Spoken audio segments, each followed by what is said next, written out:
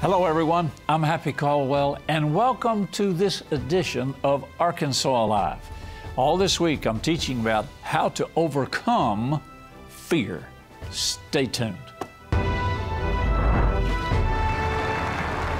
You know, everything that we do, we have an opportunity to do it in faith or fear.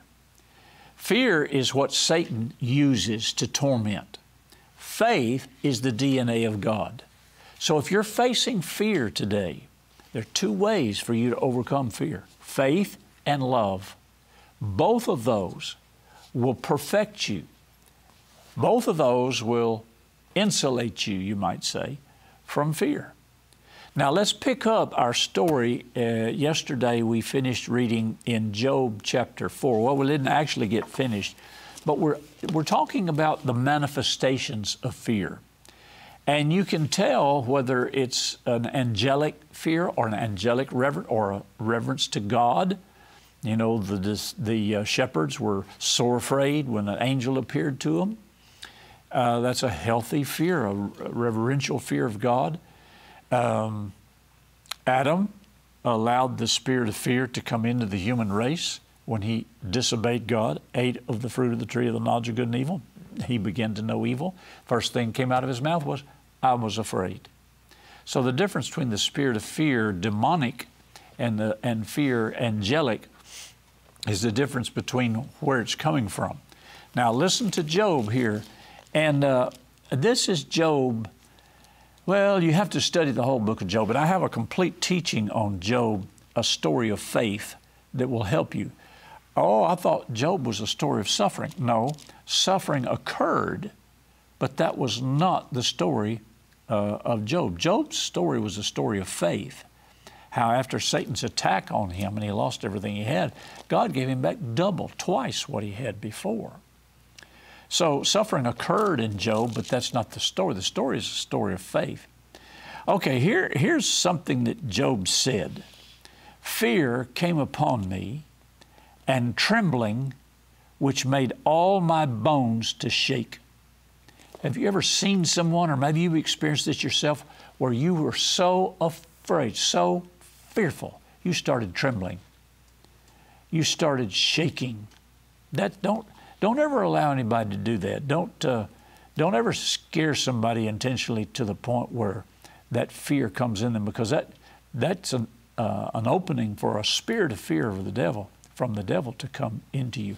Uh, Lester Sumrall told me one time that he was over in Hawaii building TV stations, and he went to bed at night, and all of a sudden, the the spirit of the devil appeared to him in his room. And he said you could sense it, you could feel the fear, the presence of the devil in the room. And he said, I knew who it was, and I knew what he was there for. He was trying to intimidate me and cause me to fear about raising up these TV stations in Hawaii. In fact, he said, the, a voice spoke to me and said, I don't want you in these islands. You get out of these islands. Don't you build any TV stations here. He said, I knew that was the devil. And he said, So I answered him back Shut up. You don't have any authority over me. I'll build what God tells me to build. There's nothing you can do about it. Now you better get out of here because I'm going to sleep. And when I wake up in the morning, you better be gone. That's, that's how Brother Sumrall talked to the devil. Uh, he told me one time that he was overseas in a in uh, you know one of these uh, uh, unindustrialized nations. They used to call them third world third world countries, but he said it was very primitive. And he said he went to sleep, and all of a sudden his bed moved six eight inches out from the wall. It, it shook his bed so it woke him up. And he said he knew it was demon spirits harassing him that had shoved his bed out from the wall. He said, So I just sat up and I said, Put it back. And he said, The next morning when I woke up, the bed was back up against the wall.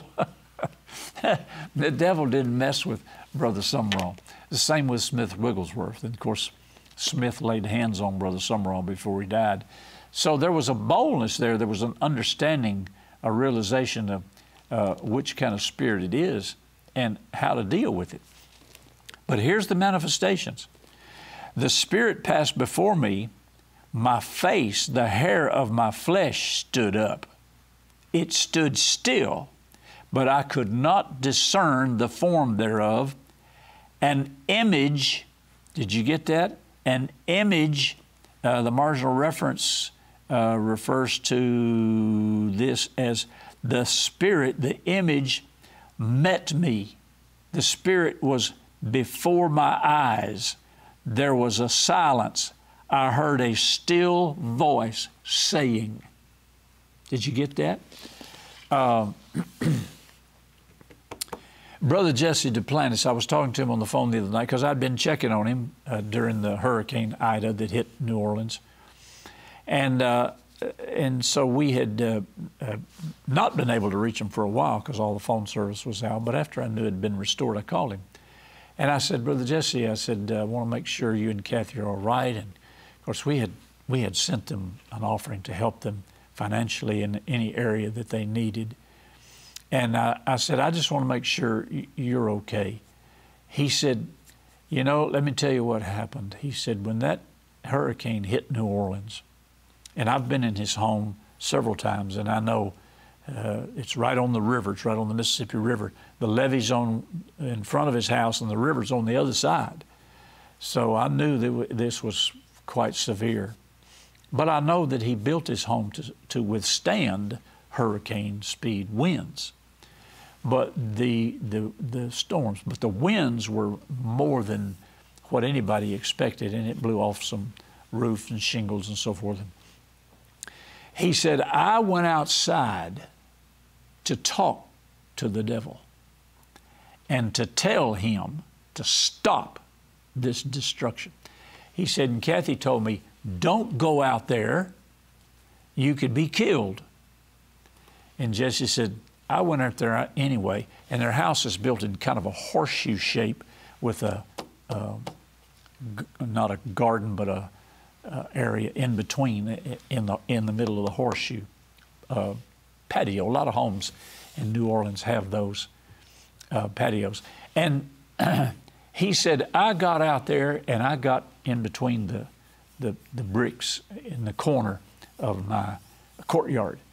And he said, and I began to talk to that storm. And he said, I heard a voice. He said, the devil told me he was going to kill me. That's what he said. He said, I'm going to kill you. And of course, Jesse answered him back and said, You can't kill me. My life is hid in Christ. and he responded, affirmatively or positively according to the Word of God. But just like this happened to Job, he said, This spirit passed before my face. The hair of my flesh stood up. I stood, it, I, it stood still, but I could not discern the form thereof.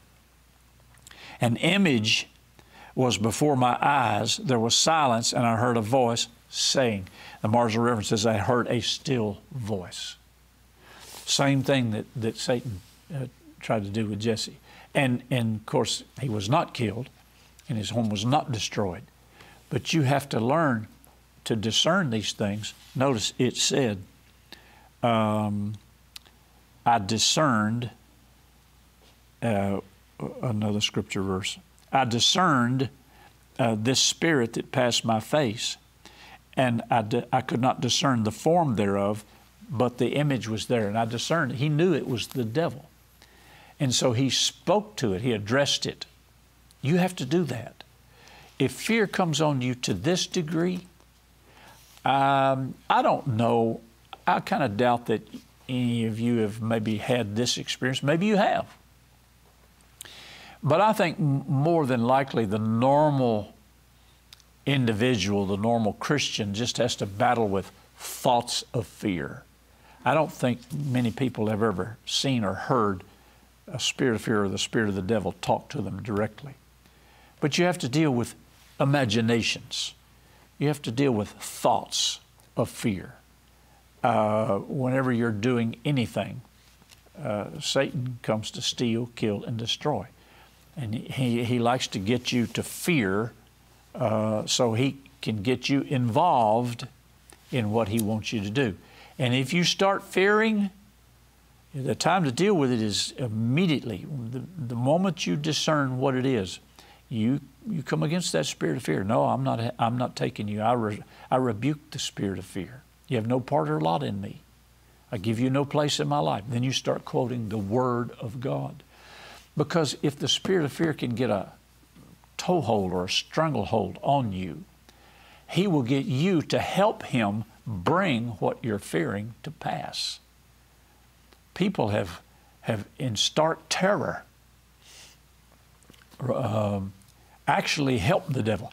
I remember years ago there was a, a couple of friends of mine, businessmen and church members, uh, Christians, and they were in business together. And I remember uh, one of them was in the insurance business, the other one owned retail stores. And I remember this tornado was coming, and this one brother, I knew him pretty well, but he had he had all kind of physical conditions. He had heart problems. He'd had heart attacks, heart surgery, etc. And when that tornado started coming, he got in his car and drove down Interstate 30. He was going to outrun this tornado. And he, he got in his car here in Little Rock and went towards Benton.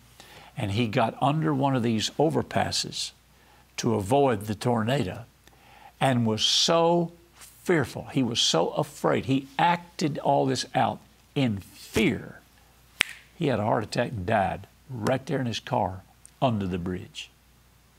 What Satan did was drive him with that spirit of fear.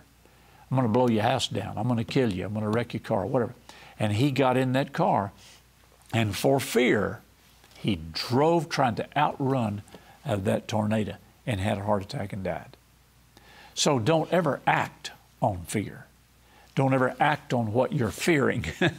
if you're fearing something, get in the Word, begin to praise God, begin to quote Psalm 91, and act positively against that fear. Let it know that it is not welcome in your life. You're not going to give place to it, and to get out of your life. Okay, let's go over to um, Mark chapter 4. Look, we're looking at manifestations of fear. Let's go to Mark chapter 4, very interesting passage of Scripture, and verse 37. And there arose a great storm of wind, and it beat into the ship so that it was now full. Now, I've already told you my hurricane story of riding out a, a, a hurricane in a, a, U.S. naval destroyer. And uh, Jesus uh, was asleep in the hinder part of the ship, asleep on a pillow. And they awake him and said unto him, Master, carest not that we perish? We're dying here, Jesus. What? We need some help here. And Jesus arose and rebuked the wind and said to the sea, Peace, be still. That's, the, that's not the norm that God created you for. He didn't create weather to steal, kill, and destroy.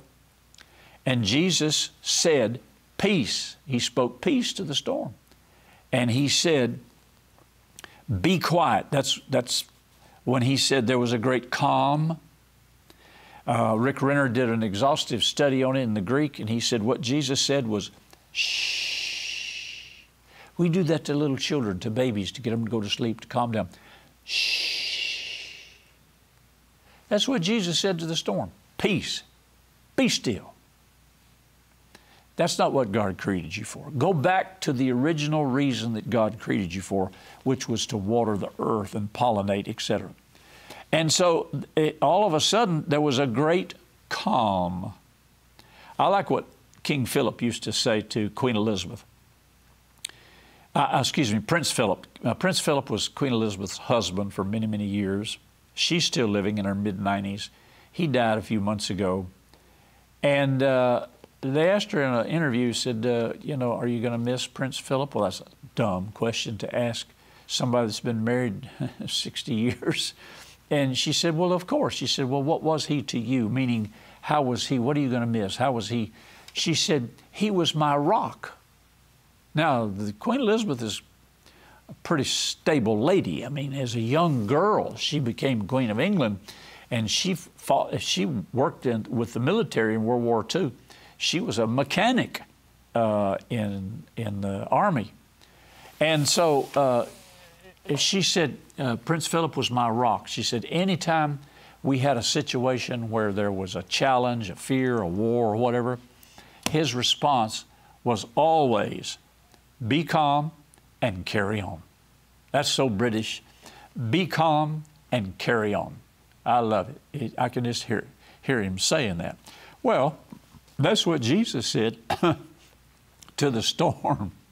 He said, Peace, be quiet. And there was a great calm. And the wind ceased. There was a great calm.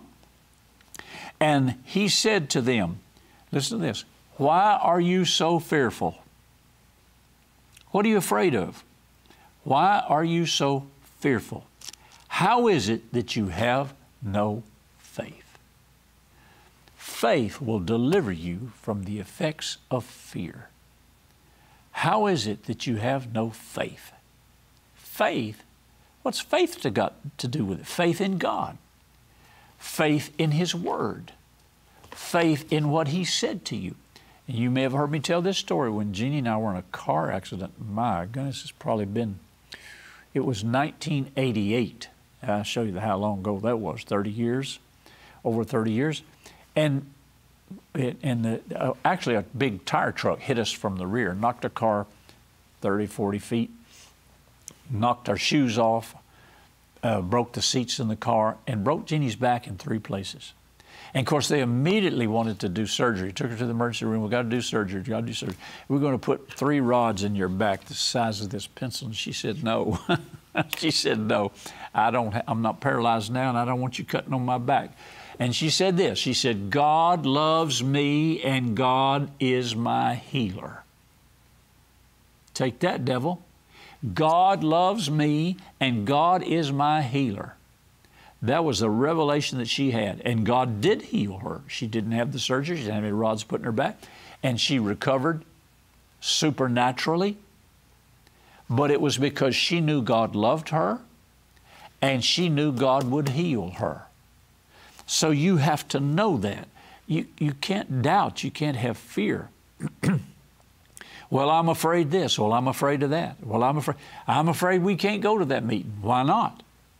What are you afraid of? Well, I'm feared, I'm afeared, I'm afeared we'll get down there and get stuck. I'm afeared our car won't make it. I'm afraid this, I'm afraid that. And we re in, in, in, um, invent and uh, reinforce what the devil is trying to, to do to us. Now, there's a difference between the spirit of fear and fear and, and caution. You don't do dumb things, you don't do stupid things. I mean, you know, I, pastored for 37 years, and you can learn a few things just by stumbling over them in 37 years. But I remember when uh, Charles Capps and I were teaching faith in our church. We had an inner city church at that time in the early 70s. And there was this guy in our church, he had heard Charles talk about confession brings possession and, and speaking to the mountain. And Charles had a great revelation of, of faith and confession. And so uh, Charles told a story about how he was flying home. He flew his own airplane. He'd been flying as a farmer for years, and he had a uh, airstrip right behind his house. And you just land in the cotton field, soybean field, whatever, and then he'd pull into his hangar. And he was flying home from a meeting one time, and uh, the headwinds uh, had created such resistance against him that he had used more fuel than he should have because of the headwinds. And so when he got ready to land, he was about on empty, and he prayed and asked God to multiply his gasoline so he could get home and land safely. And God did. They found out after he landed, they went and measured the fuel in the wing, and he had, he had more fuel than he needed. And so this guy heard this, in the church. Charles gave that story. This guy heard this and he said, I'm going to try that on the way home. I'm going to do what? I'm going to try that on the way home. What do you mean? Now, I heard this testimony later, is the only reason I'm able to tell you.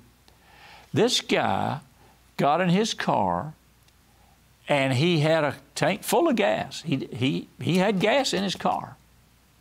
I'm sorry. He did not have a, a, a full tank of gas. His gas tank was on empty. And so rather than go to a service station and get some gas, he said, I'm going to try this, what he said, on the way home. I just believe I have a tank full of gas. I just believe I have a tank full of gas. He was going to prove that his faith in confession was going to multiply his gasoline because it multiplied Charles and the airplane, so he can multiply mine. He had money in his pocket to buy gas. He passed several gas stations on the way home, but he was going to get home without getting gas, and he was going to get home on his faith. And he ran out of gas and had to call somebody to come get him. That's not faith. That's foolishness. That's presumption. So there's a difference between being in a situation where you have to exercise your faith and being in a situation where you should exercise good sense or good judgment I remember Dodie Osteen, Joel Osteen's mother, and she's still living. And of course, Jeannie and I knew John and Dodie for years, and and uh, Dodie got uh, a diagnosis of cancer. This was many years ago, and so she went to the doctor. The MD Anderson Cancer Clinic is there in Houston, so she went to the doctor, and the doctor told uh, she and John, said, "You know, there's nothing we can do for you. This cancer is inoperable." So John said, Well, good, then we're going home. What are you going to do? We're going to believe God. And they believed God and made confessions, and they did everything they knew to do in their spirit for her healing, and God healed her, and she was healed. A few years later, the cancer came back. And so John took her back to the clinic, and the clinic said, Well, uh, the situation has changed now. Uh, we can operate and we can do surgery and remove this cancer. And the Lord told John, said, Let them operate and remove the cancer. Now, the first time they said there was nothing they could do, and so they believed God, and God healed. The second time, God told them, Go have the operation, go have the surgery. Well, their faith is in God. Their faith is in what God says and what God said. So they did what God said, and she was healed. She's still healed today. I saw her a few years ago at one of Joel's meetings. So the issue is not whether you have surgery or don't have surgery, whether you go to the doctor or don't go to the doctor. The, the, the issue is whether you, whether you believe God or not. God can tell you to go to the hospital or go to the doctor or have an operation.